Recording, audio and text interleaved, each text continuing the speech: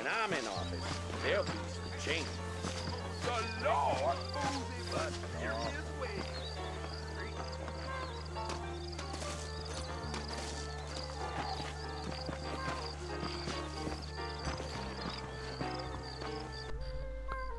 hello guys welcome back to our channel today we are back again with another amazing tutorial this tutorial will be the mode of red dead redemption 2 here you can see uh, so we are going to show you how you can play this game with the simulator with keyboard and mouse.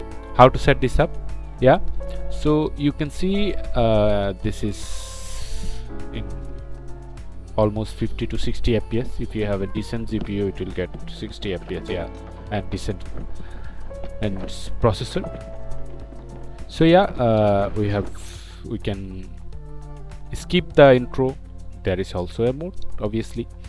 And by the way now we are going to show you that how you can play this game with your keyboard and mouse. Yeah. So here uh, i'm going to full screen. Yeah. So you can see that I'm moving uh, the camera around with mouse. Here you can see. And I can run jump and I can yeah scroll. Here you can see. So I can also I'd advise you to hold still, partner. yeah. I can do that. And it is running in also full HD by the way.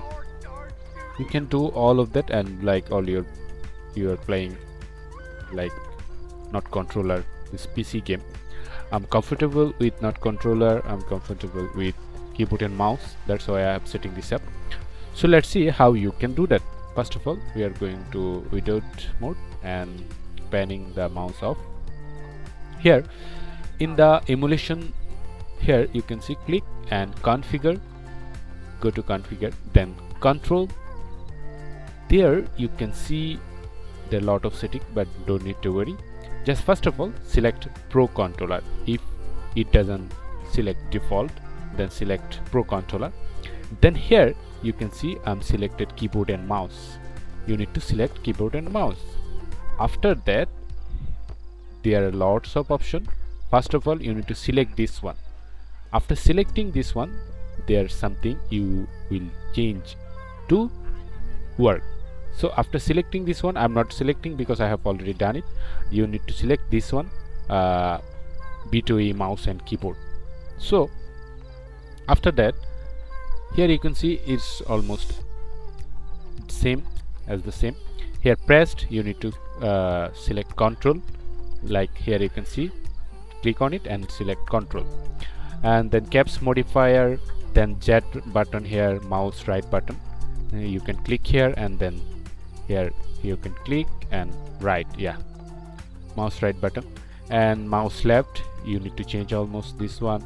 And X E select C shift to run B and space to jump yeah. And everything is all okay.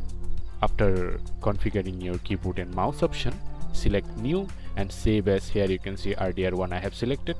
Then apply click OK after that uh, you need to select the mouse panning option. Uh, I am in my keyboard I have selected F1 to mouse to work or not work. Here you can see you can go to again conf configure and then here you can see hide mouse on inactivity this one you need to select this one.